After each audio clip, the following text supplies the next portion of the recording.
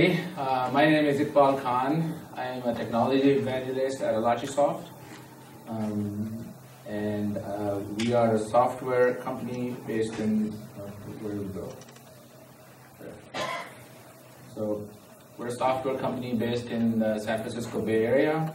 Uh, NCache is our flagship product, which is a distributed cache. Why I'm talking about this topic today. My topic is not about NCache, it's about caching in general. Uh, NOSDB is another product that we have. It's an open source NoSQL database for .NET. and I'm going to use Azure uh, for uh, demonstrating a distributed cache so that you guys can see how it is actually used. Um, so uh, today's topic is uh, scaling .NET applications for distributed caching. Um, I prefer to have a more interactive discussion. So as I'm talking, if you guys have a question, please raise your hand so we can talk about that right at that point instead of waiting until the end. I find that makes it a much more meaningful conversation. So, um, so let me get started now. Uh,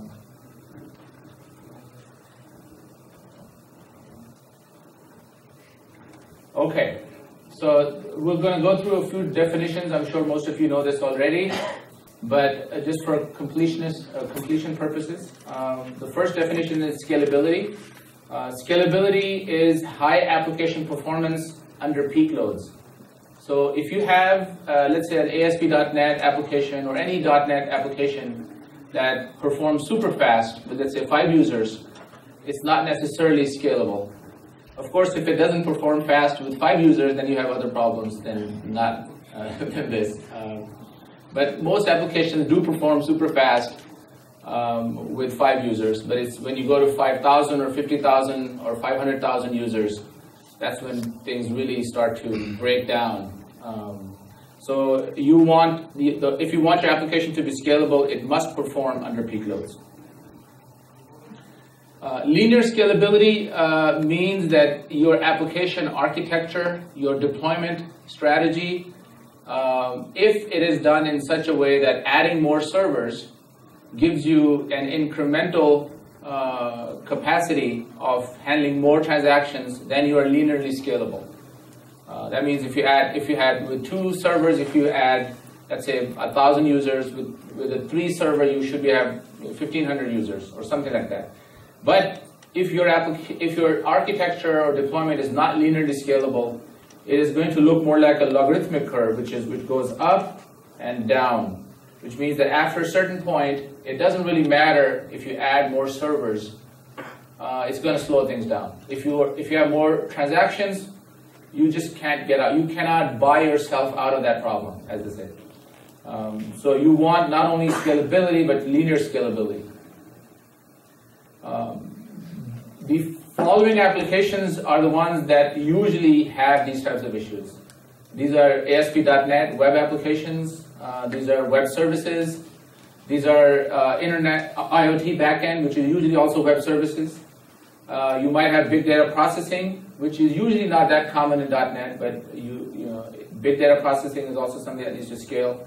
Or any other server applications. Um, you may be a financial institution that uh, has a, a, compliance requirement to process a certain number of transactions. Oops, sorry about this. I need to.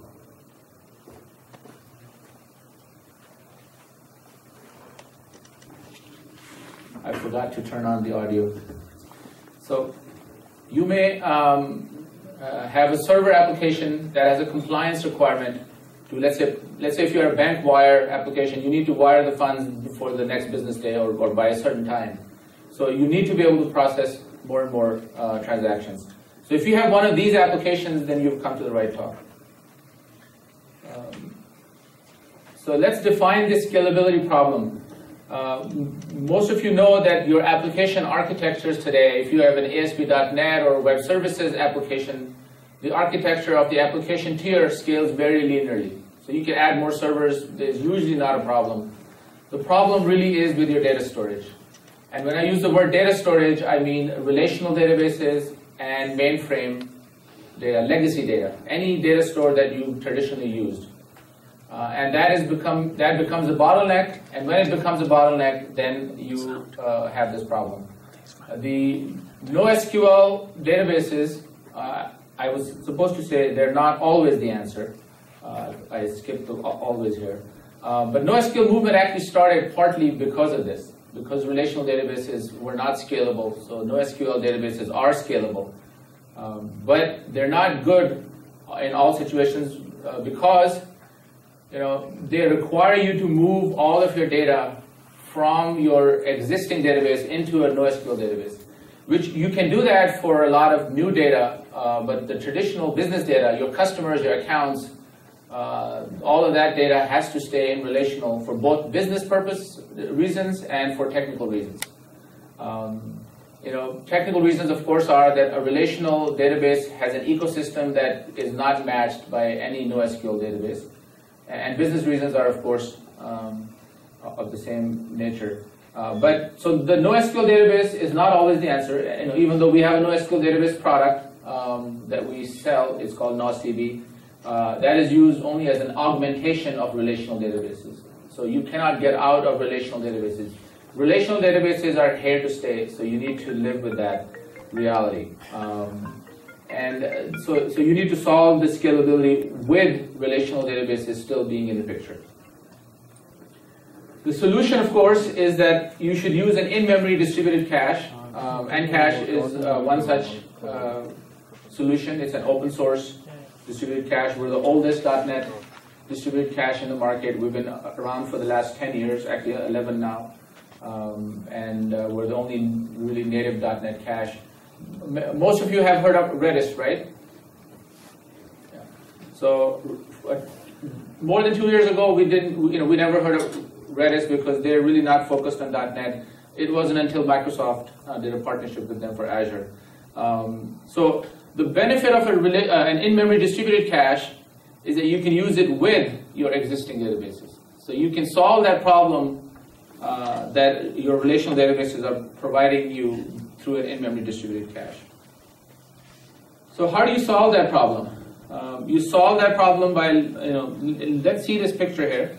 So you have uh, an application here, which is your web applications, your web services, or any other server applications. Um, and you can add more servers here. You know, for web applications and web services, there's usually a load balancer up here that I did not draw in this. So you can add more servers at this layer. You cannot add more servers at the database layer. Yes, you can add more servers in the NoSQL layer, but as I said, it's not always the answer. So you have to solve this, these two um, boxes. So you put uh, an in-memory distributed cache in between the application tier and the database. Uh, uh, the distributed cache usually forms a cluster. Um, so not all distributed caches form cluster. Memcache never formed a cluster, even though it was seen as a distributed cache. Uh, Redis does form a cluster. Ncache definitely does form a cluster. Um, a distributed cache forms a cluster of two or more servers here. Uh, the reason I say two is for redundancy purposes and for replication and for a lot of others, and also for uh, scalability purposes. Uh, if you only need one cache server, you probably don't need a distributed cache. Um, so you should have a minimum of two cache servers here. And this cache cluster actually forms, uh, it, it, pools the memory and the CPU resources from all the cache servers into one logical capacity. Uh, what that means is uh, that as you add more servers, you get more memory, more CPU processing, and more uh, network card capacity. Those are the three bottlenecks to scalability. Memory, CPU, and network card.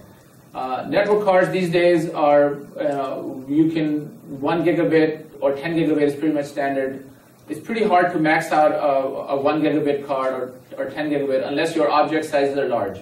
But if your object sizes are large, large means hundreds of kilobytes per object, then it's pretty easy to max out a, uh, a network card if you have a, lot of traffic. But if you add more servers, then of course that's more network cards. Um, and memory is the same way. Um, the reason it's an in-memory distributed cache is because memory is much faster than disk. Um, and uh, you know that's what really adds the value. It's faster, it's more scalable. So the goal here is to capture about 80% of your application access going to the distributed cache, so that only 20% will be left to go to the database. A lot of people uh, initially saw caching as a performance boost.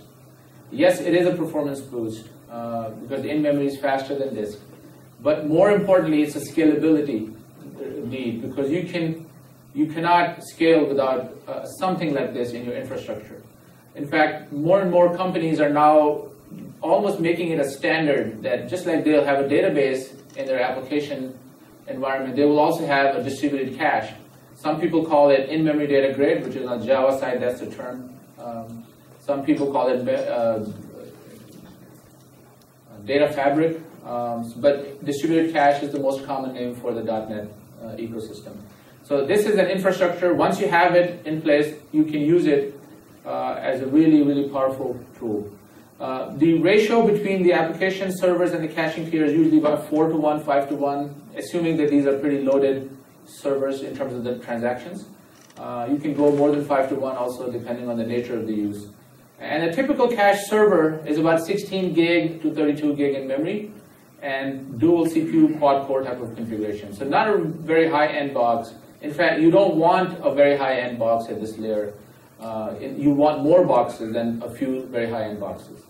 Um, if you add more memory, you can go up to 128 or 256 gig memory, but more memory means uh, need to have a stronger CPU. Why is that? Because if you have more memory, your, your heap is bigger, your garbage collection is going to be a much bigger task, and garbage collection is not the fastest thing in .NET. Um, and uh, it, will, it will eat up your CPU, so you'll look more and more like a database. So it's better to have 16 to 32 gig is a pretty good uh, sweet spot per cache server. Any questions up until now? Okay. So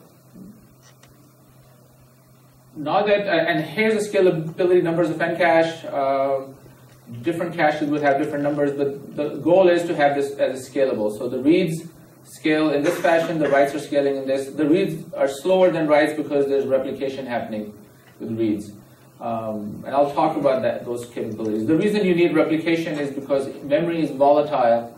So if any one server goes down, you lose that data. So you don't want to lose that data in, in many cases. Uh, the goal of the talk up until now was to kind of show you why you need distributed caching. You know, and, and now that we've established that case, let's talk about what is it that you will use a distributed cache for. Uh, the most common use case is what I was talking about, which is an application data caching. You cache the data that exists in your database right here. So you cache as much of it as you can. Um, and then you improve your performance and scalability. So the main thing to notice in application data caching use case is that the data exists in two places. One in the database, one in the cache. Whenever that happens, what's the first concern that comes to your mind? That what could go wrong if data existed in two places? Yeah, consistency. So uh, it's really important for a good distributed cache to handle that. Because if you're not, if a cache is not able to handle uh, the fact that data must be consistent in both places, then you are forced to cache uh, more read-only data, uh, you know, and Read-only data is about 10 to 15, 20% of your data. The majority of the data is what I call transactional data. These are your customers, your accounts. That's data that's changing. It might change every few seconds, although most of the time it might change every few minutes. Um, so even if you could cache it for one minute or 30 seconds, um, that you will still benefit because you will read it multiple times. And if you multiply that by the total number of transactions that are happening in a given day, you have millions of transactions that are no longer going to the database. So uh, uh, it's really important that for application data caching, a good distributed cache must handle this consistency. And I'll, I'll go over those features that, that are really important to have that consistency.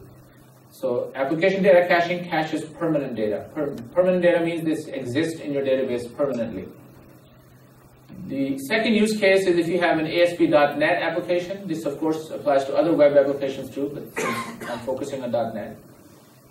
You can cache your session state, your view state if you're not using the MVC framework, and you can cache your output, uh, the page output. All of that data is temporary in nature. It's not permanent. Any data that is not permanent should not really exist in the database. You know, um, it's, it's, a, it's a transient data.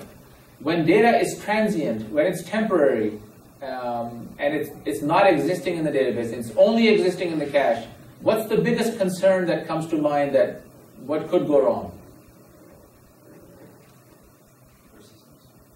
Or lack of it. So, so if you don't persist, you lose the data. You know, what if this cache server goes down? You know, and you have this shopping basket or whatever, uh, and let's say you're an airline and this customer of yours has just done this flight search and they're going to buy 10 tickets or at least four tickets worth at least uh, $5,000 and the last page um, they say submit order or, or, whatever the last page and suddenly the session is gone because the cache server went down and they have to start all over again. Their entire activity is lost. You, know, you, you may lose that customer. Not a very good experience. So anything that you cache um, that is transient, the cache must replicate. Any cache that does not do replication is not uh, is, is not a viable cache. Um, and replication has cost, so the cache must do uh, effective and efficient replication. The sessions data is a very common use case for distributed cache because sessions are very common in ASP.NET. The third common, or the third use case, which is actually not very commonly known, is called runtime data sharing. Uh, this is if you have multiple applications that need to share, one application produces something or updates something that another application or the, another instance of that application needs to use.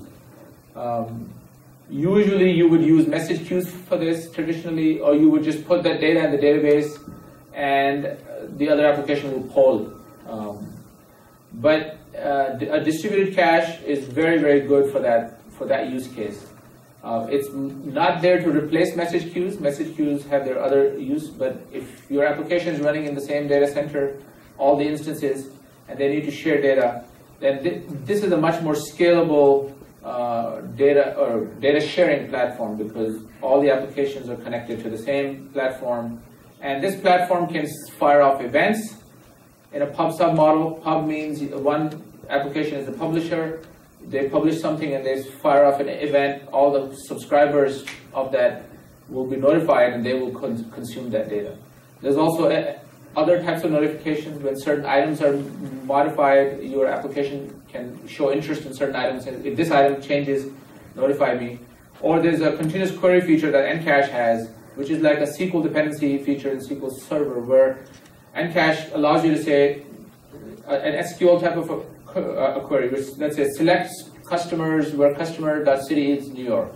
So if any customer with this criteria is ever added, updated, or removed from the cache, notify me. So it's a much more intelligent way of monitoring changes to, the cache. So all of those things allow you to uh, share data between applications in a very fast and scalable way at runtime. And this is also transient data, although many of, much of that data exists in the database, but the form in which you're sharing it probably doesn't. So it's transient, so this must also be replicated. Any questions up, up until now? Either you guys know this stuff completely already or I'm, I'm super good. Okay. So let's, let's go through uh, and see some source code in terms of how, how, what are the features that you should use and how to use them. I'm going to use NCache as the example, but as I said, my focus is more on the actual features. Uh, here's a typical way that you would use any cache. You would, you know, you try, try to load a customer from a database. Before you go to the database, you'll check the cache, and you'll use a key, a string-based key that says customers.customer ID and the actual customer ID maybe 1000 or something and you say check the cache. If you have it in the cache, no need to go to the database. You've got it. If you don't have it in the cache, then uh, you go to the database, you load that customer, and you put it in the cache. When you put it in the cache, the next time you come, you or anybody else comes, they'll find it in the cache. So that's a very simple paradigm. Once you do this, everybody uh, gets to find things more and more in the cache. Of course, there's a lot of other features that you can pre-populate the cache with a lot of data that you think is going to be needed anyway. Um, so that you, you will save a lot of the database hits up front, and then you'll still incrementally keep adding data to the cache that is not found in the cache. Um, and actually, let me, this is a good time to show you a simple. So here's, for example, here's a Visual Studio project. Uh, if you were to use NCache, you would um, link two of the assemblies. One is NCache.runtime, one is NCache.web. Um, you will use two of the namespaces here, similarly NCache.runtime and .web.caching. We named our namespaces to be fairly close to ASP.NET Cache, uh, so that the, you know when ncache came out, ASP.NET Cache was the only cache uh, available. Um, so you, you've got this, and at the beginning of your application, this is a console application, of course, but yours is going to be a different one. You'll connect to the cache, and you get a cache handle. Every cache is named, um, and you get a cache handle, and then you, you add your objects to the cache. So let's say you've just added, you do cache.add here, and you specify your key, although this should probably not be David Jones, it should be customer ID of some sort. Um, and uh, then you have the actual object, and, the, and you have specified expiration. So you've specified absolute expiration of one minute. You're saying after one minute, expire this item from the cache. Everything else you just kept as default. And later on, you can do a cache.get and get that same customer from another place. So just a simple uh, uh, cache operations. Um, in case of NCache, all caches are named. I'm, I'm going to quickly now show you what a cache looks like, and then we'll come back to the code. Um, I've set up uh, a bunch of VMs in Azure, so you, you can run NCache uh, in Azure, in Amazon, on and on premises. Um, in all cases, the cache servers themselves are just VMs. These are just Windows uh, 2008, 2012 VMs. The cache client uh, in, in Azure can either be a VM, it could be a web role, it could be a worker role, it could be a, uh, like a website. Um, but I'm going to uh, log into the, actually I have logged into the demo client uh, right here. I'm going to now quickly go and create a cache so, you know, so I can show that how cache looks like. So I'm, going to put two, use this tool called NCache Manager. It's a graphical tool that lets you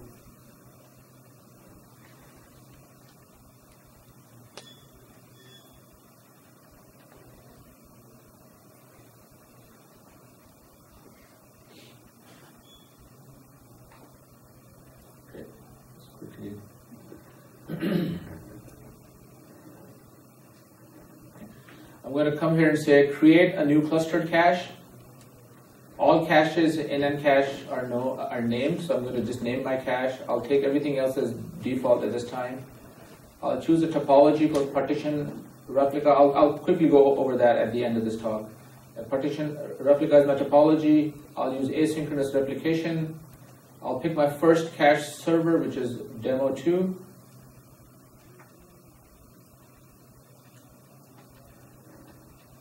Actually know that? Did I it?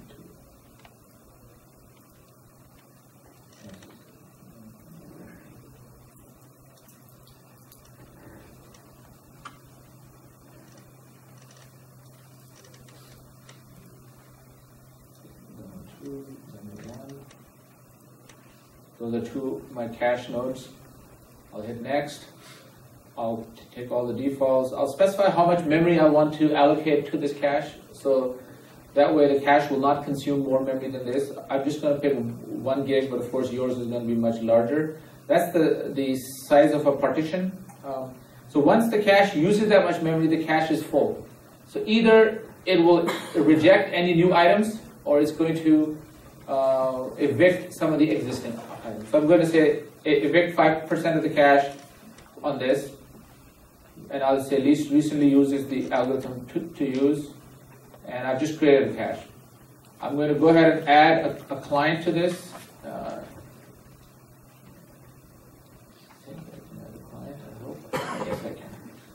so I've just created a cache. I'm going to go ahead and start the cache.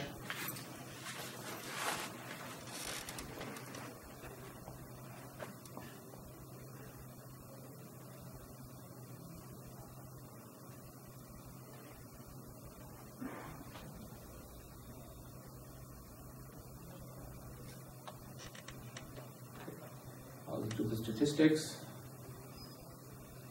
So I can use some performance statistics. I'm going to also do monitor the cluster. And so I've just started a cache. This cache is called demo cache. I'm going to just quickly test it.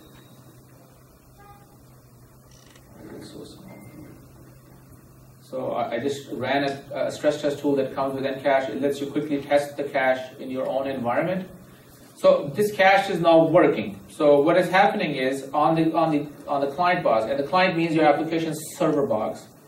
I've got uh, a configuration file right here, and uh,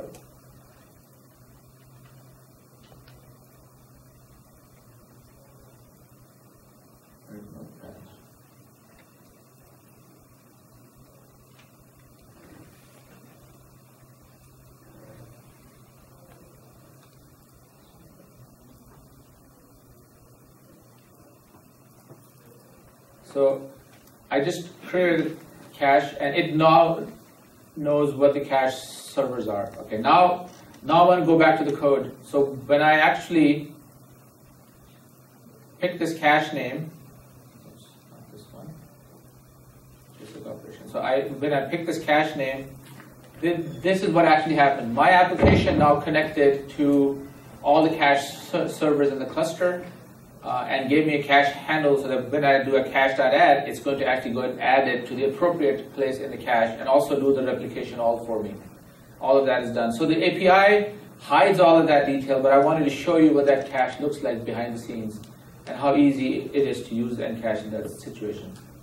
So let's come back to our uh, main. Here's what the API would look, look like. You do a cache.get, cache.get contains, cache.add, insert, remove. Insert means add if it doesn't exist, otherwise update it. Um, okay, now that we've got an idea of what a cache looks like, what is a, a, a specific, like a simple API, let's come to the features that we talked about, which are important for a distributed cache.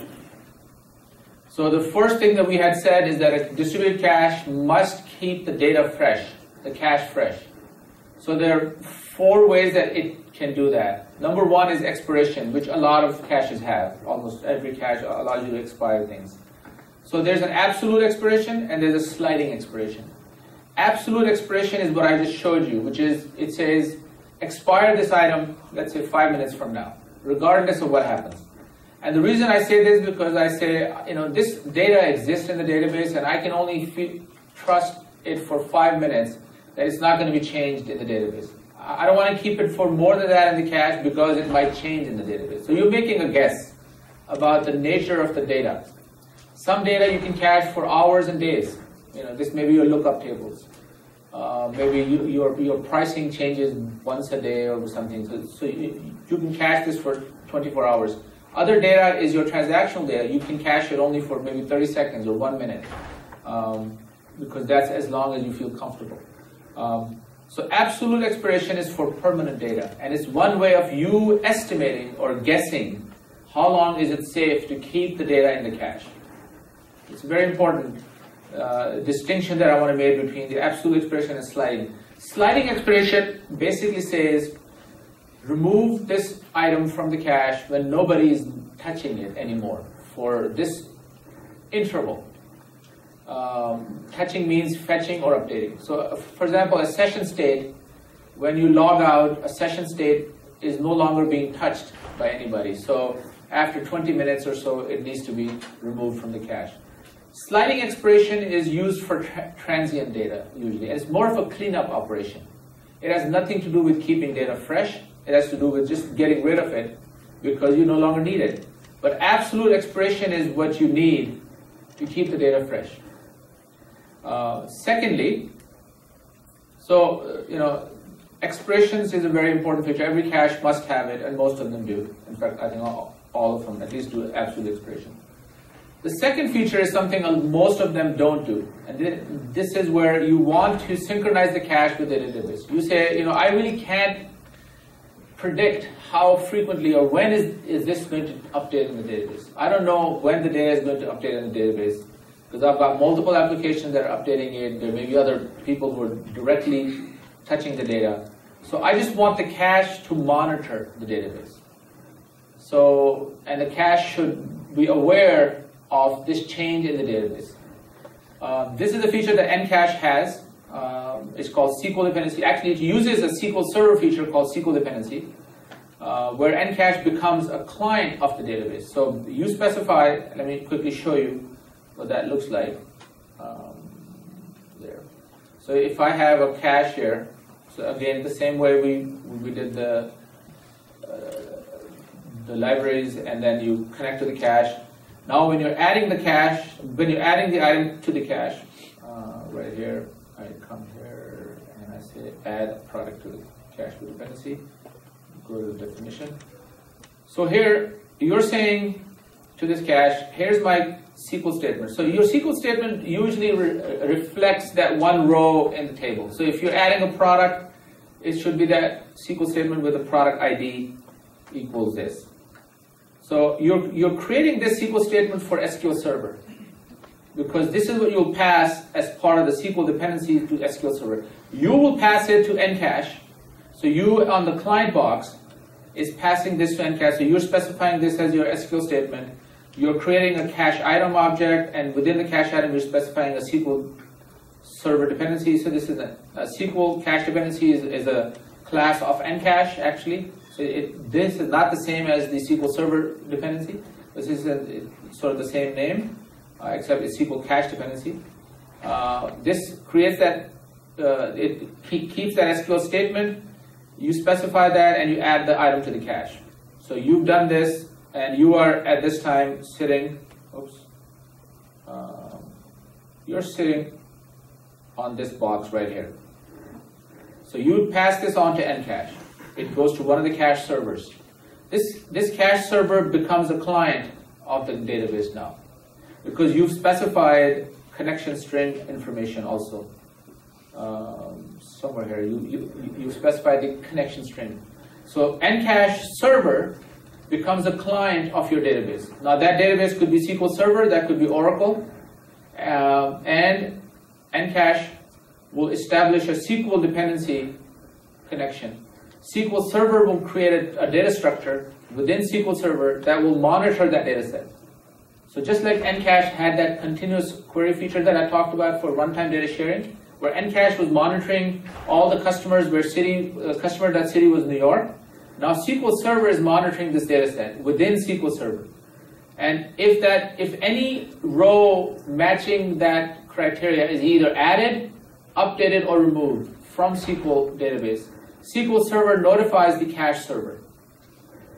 The cache server now knows that this data has changed in the database. So it has two options. It can either remove that from the cache, which is the default behavior, or it can reload a new copy. The way it will reload a new copy is if you use another feature of NCache called read through. And, and I'm going to skip this and I'll, I'll actually come back to this. But so there's a feature called read through um, which is your code. You implement a read-through handler, and I'll show you the read-through handler. Um, so let's say you've got a, uh, so here's a read-through, an I read-through provider. You implement this. Uh, it has an init method which initializes it, a dispose method, and an actually like a get method. So the get passes you the key, and you give it back the cache item. So you go to the data source of yours and you load that item, you specify the expiration or any other thing, and you pass it back to NCache. This code of yours runs on the cache server. This is an important thing to keep in mind with that. So the read-through actually runs on the cache server itself. Actually, I have another diagram which probably so the read-through runs on the cache server itself. So the cache server has to be developed in .NET for your .NET code to run on it, right? So if you're a .NET shop, if you're an application in .NET, the reason I say the whole stack of yours should be .NET is for all of these benefits.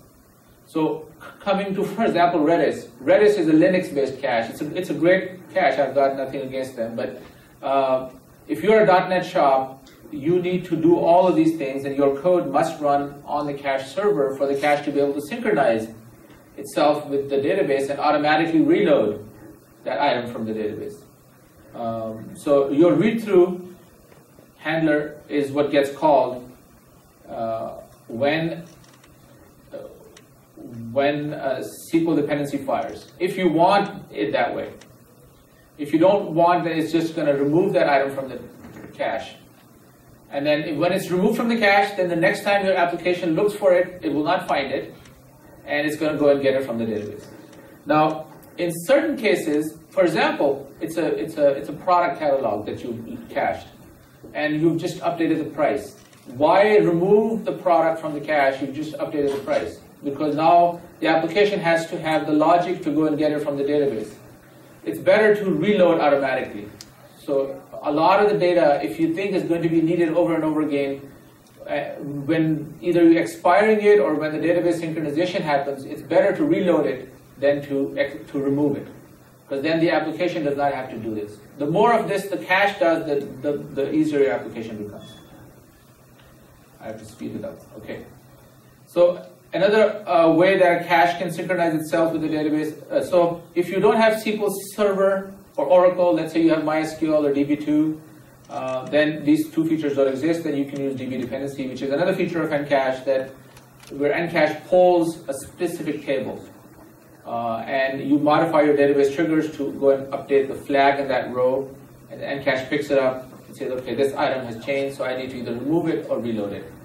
Um, CLR procedures is another way to synchronize the cache with the database, uh, where you actually write a CLR procedure, you call it from your uh, table trigger. So let's say if you have an, uh, an add or an update trigger or a delete, you call this CLR procedure, it calls NCache, or it, it, it calls the cache. In case of CLR procedure, you need to make sure that the cache supports async methods, which NCache does. So you, you can make a cache like an insert async call, and the control immediately comes back to you. Because if you don't do the async call, your database transactions are going to start timing out. Because you're updating multiple servers in the cache, you're going across the network, which is not what a database transaction is designed on. So you, you need to have async calls. So those are the three ways that you can synchronize the cache. Um, so any cache that you pick, you need to make sure that you can keep the data fresh. And these are the two, two ways. And the same way, if you have a non-relational data source, let's say you have um, your data is in the cloud or it's any other place, you can even want to make a web method call. Um, you can actually implement a custom dependency, which is again your code that registers and runs on the cache servers and NCache calls it and says, please go and check your data source if it, is, if it has changed or not. You check the data source. If it has changed, you notify NCache that data, that data source, the data in the data source has changed, so NCache can either remove it or reload it. So again, uh, with, a, with a relational database, NCache does it all for you. Uh, in case of non-relational, you have to do a custom dependency. The final uh, aspect of keeping their cache fresh is the cache dependency feature. Uh, where you, let's say if you have a one-to-many relationship between a customer and an order, and you're caching both of them. Um, what if the customer object is removed from the cache? Uh, should the orders remain in the cache or not? What if you actually deleted the customer from the database? Well, you don't usually delete customers, but I'm saying in a one-to-many. Let's say, what if the one side you remove from the cache really meant that you, you might have removed it from the database also. That means that the many side is no longer valid. So uh, who should keep track of all of this? Uh, if the cache can do it for you, you know, then it makes your life much simpler. For example, uh, ASP.NET Cache Object has this feature called cache dependency. Uh, Cache has implemented it, and uh, as far as I know, no, no other .NET Cache has this feature. Um, but it, basically, you register the relationship between items. Say, this depends on this item. If this item is ever updated or removed, please automatically remove this item. So the cache does the cleanup for you. The more of this the cache does for you, the better it is for you because you can rest assured that your data is going to be fresh. Once you have this confidence, you can cache pretty, pretty much all data. And it's just a matter of which strategy you will use to keep the data fresh. Any questions?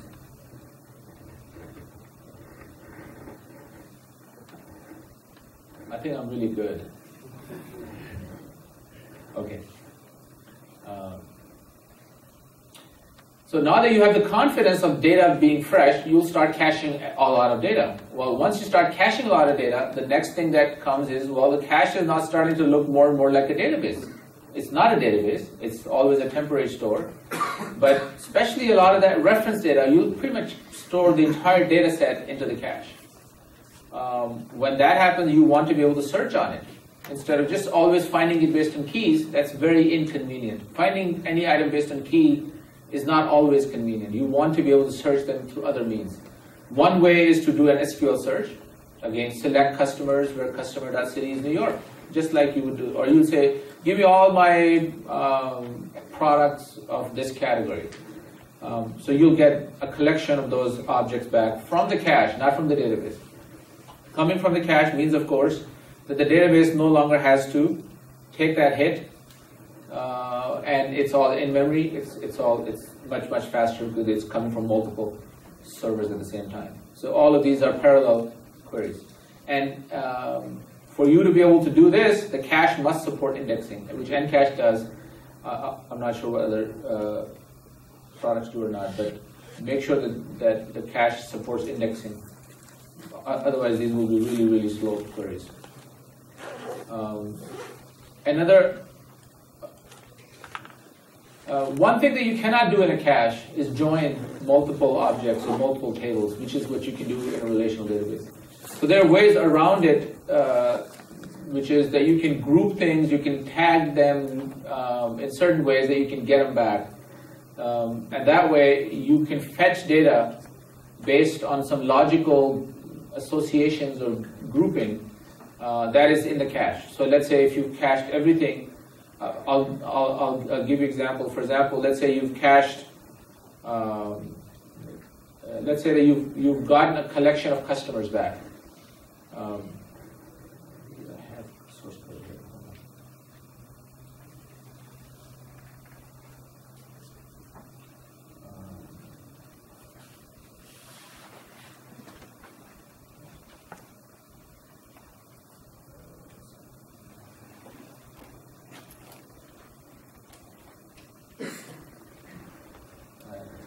had that in another presentation for entity framework. Um, let's say that if you have a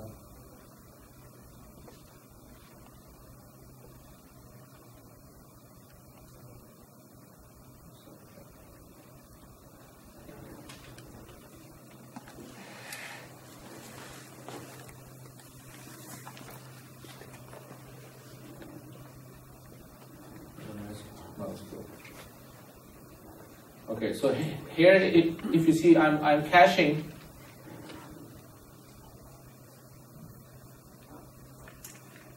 Sorry about that. There, that's the one. So I've got a collection of objects back, uh, and I want to cache every object separately into the cache. But later on, I, I, want to be able to fetch it all in one call. So either I issue the same query, uh, SQL query and I say, give me all those things back. But I, I got these objects from the database. I, I didn't get them from the cache. And they're not an entire data set. Let's say they're, they're whatever set that I wanted to fetch at that time. So I am, I've cached every object individually because I might need to access it individually. But I want to be able to fetch it all back as one collection. So I use the concept of a tag. I tag them all with the same tag. Uh, and that ta tag could be any unique string. And I say, give me all the items that have this tag back. So in one call, I'm going to get all that entire collection back again. So it's that type of stuff that you can do with tags um, that kind of makes it up for the lack of um, joins in the cache. So, oops.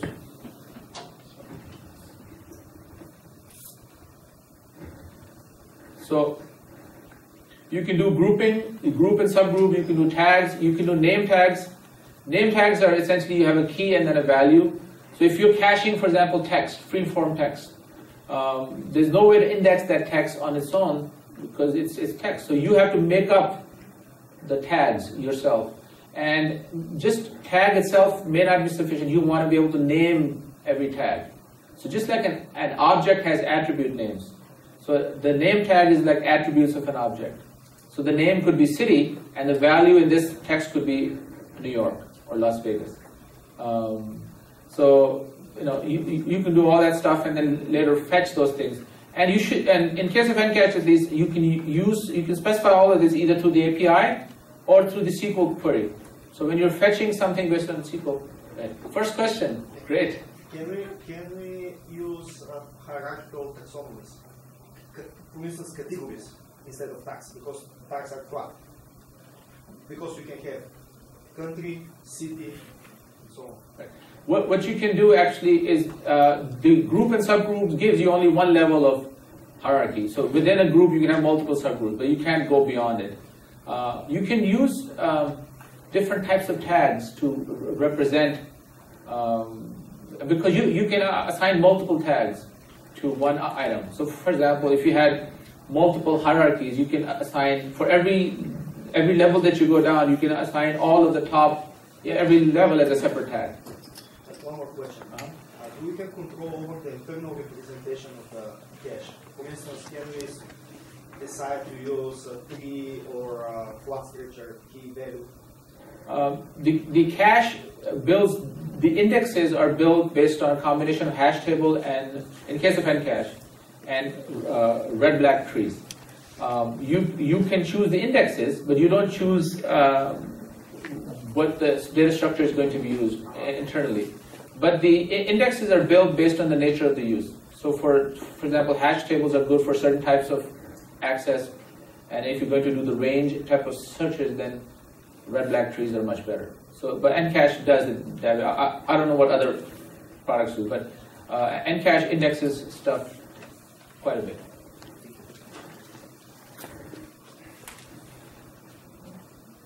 So we've got another 10, 11 minutes.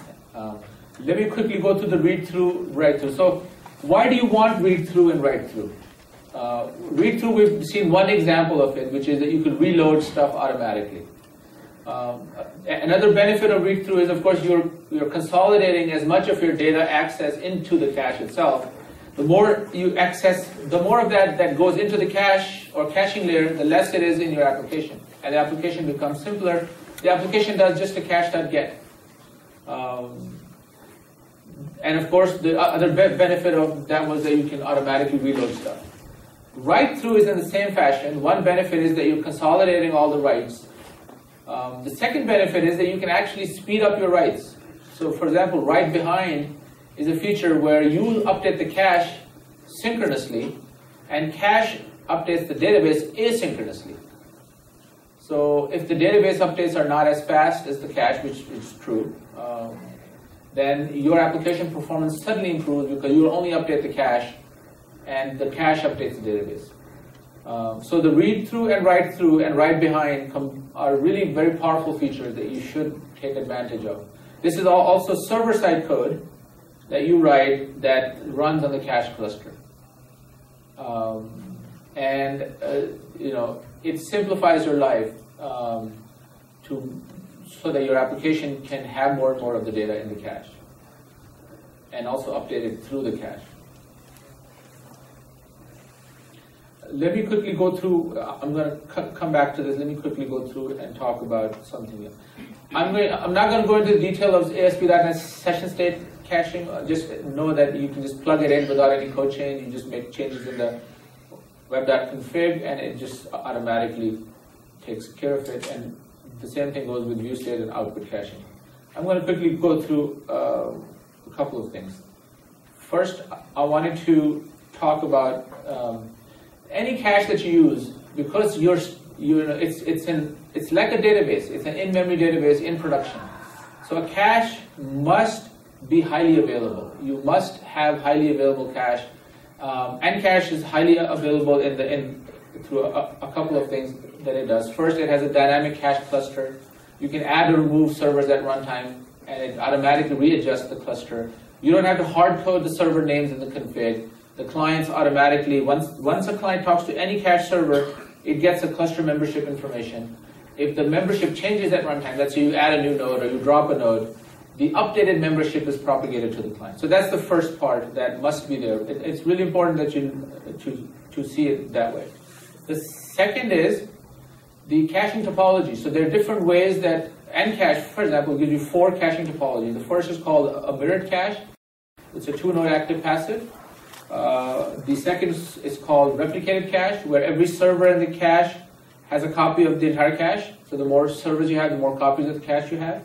It's scalable for read, not scalable for updates, but it has its own use cases.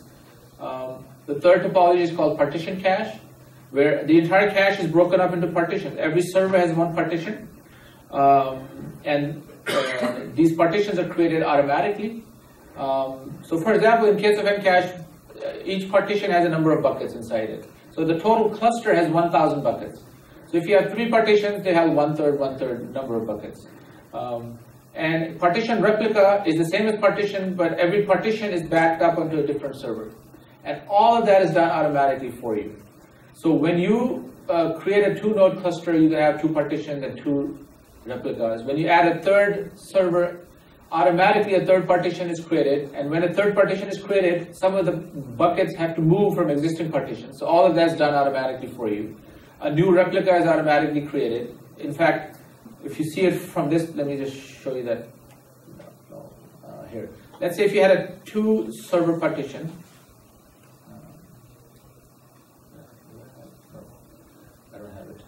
Uh, but let's say if you only had a two server cluster, you only had two partitions. Partition one was here and replica one, partition two, replica two. Now you added a third server. Suddenly you have to have a third partition and th this will get some of the buckets from here, some of the buckets from here. That's one thing. Second, the replica two is no longer going to be here. It's going to move here because now, you know, partition, uh, the replica for partition three has to be here. So all of that adjustment is, is automatically done for you by NCache. So that's one thing. Second, there's a feature uh, called client cache. Some people call it near cache, which is really powerful that you must use. Uh, which is basically it's a it's a local cache within your client application. But there's one special thing about this that this local cache is not disconnected with the cluster, the cache cluster. It is connected to the cache cluster. It kept it keeps itself synchronized. So in case of NCache, for example, the client cache plugs in automatically behind the scenes through config. whatever you fetch from each of these application servers is what is uh, is what is automatically kept in the client cache. So the next time you need it, you'll find it in the client cache. And, and the cache cluster knows which data is in which client cache. So if that data changes by, let's say, another client, the, the cluster notifies all the client caches that have that data to go and update themselves. So the client cache stays connected, but it is a local cache. It can even be in proc. In proc means within your application process. So that really speeds up your uh, performance, but at the same time, you're uh, part of the, the overall connected distributed cache. I'm going to skip a lot of the stuff because we don't have time. So there's also WAN replication. If you have multiple data centers, you should be able to have the cache replicates itself across the WAN, and that cannot. You can't build a cluster across the WAN. That will just die because these sockets break. The latency is just very very high. So there has to be some way of connecting caches across to uh, data centers. In case of NCache, we have this thing called bridge topology uh, which connects multiple data centers. You, you can have active, active, active, passive, or even more than two data centers now. Um, and that way, and this is all done asynchronously, and there's also config resolution done for you. So as, as you can see, uh, um, um, a cache is not just a simple key value store. There's a lot that you should keep in mind behind the scenes. One thing I quickly wanted to cover was NCache versus Redis, just a high le level, I wanted to talk about this. Um, uh, NCache is a native .NET cache. Um, it runs on Windows, um, and you can do both the client side and the server side caching. That's one benefit. Uh, whereas Redis is mainly a Linux-based cache. Uh, before Microsoft did partnership with them, you know, most people on .NET side didn't even know they existed, even though they have been a very popular cache on on the Unix and PHP and other environments.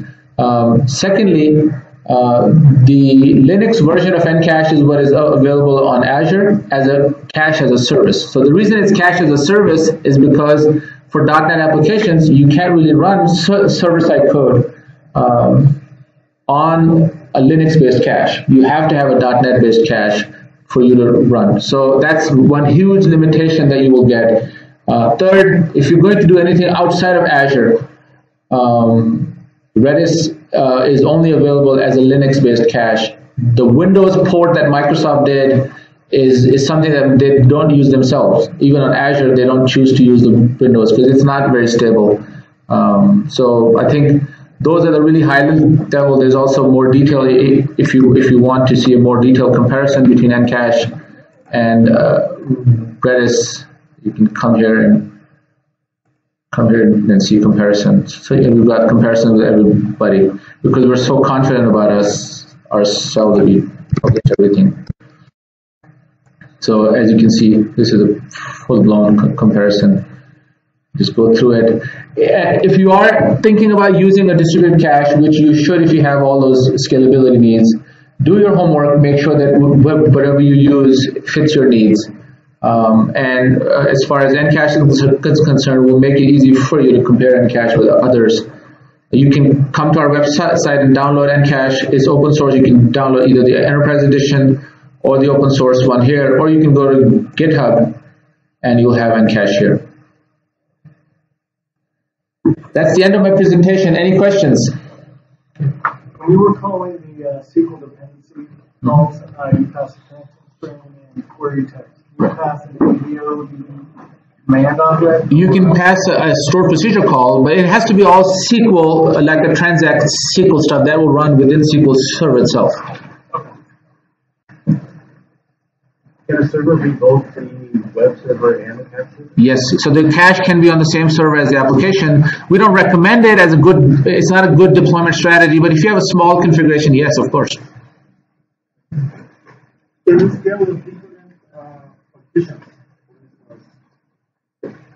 I can, I, may want to scale partition A, partition B. Actually, when you do partitioning, all of the partitioning is done for you. So the whole idea is that every partition should be equal in, in its weight, in terms of data size, in terms of transactions. So I don't control. You, you, you don't control the partitions, you just know that they exist.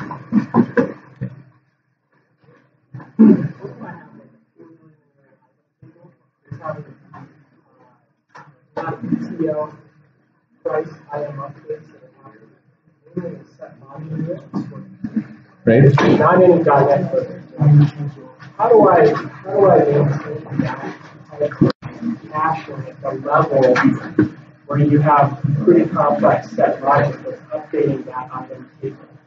When you're updating that item table, uh, you, you, you can choose to update the cache from within the database itself. By if you have a CLR procedure, that can make a call straight from the database to the cache. You can also um, write separate code that can go and update the cache. It all depends on how much of that you are trying to keep in the cache. So, uh, you know, I can talk about more offline if you want, but I mean, there are multiple ways that you can make sure that all that data that you need to access is kept fresh in the cache. Is, uh, you have these slides Yes, actually, I'm go going to make the slides uh, available. Uh, you know, we'll email you. One of the reasons we scanned everybody so we can do that, and we'll also have the video recorded uh, and uploaded so that you, you can watch and also your colleagues can watch. Oh, you, you can get sent. Come to our booth. Uh, it's it's uh, Ashish booth. Just come to our booth and we'll scan you.